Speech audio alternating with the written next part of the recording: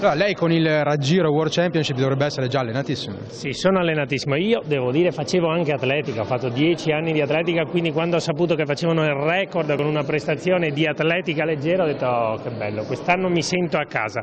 Con il raggiro World Championship ho perfezionato diciamo, alcuni dettagli, riesco a, cor a correre sull'asfalto anche con le scarpe di vernice. Al di là di questo, insomma, una, un appuntamento importante per la ricerca, per la solidarietà. È un appuntamento importante, poi sono felicissimo che questi record si svolgano a Padova, poi mai come in questo periodo vediamo che quando ci sono gli, gli eventi importanti Padova sa stringersi e ottenere dei grandi risultati, quindi penso saremo tantissimi in Prato della Valle, la cornice più bella del mondo per fare una cosa così.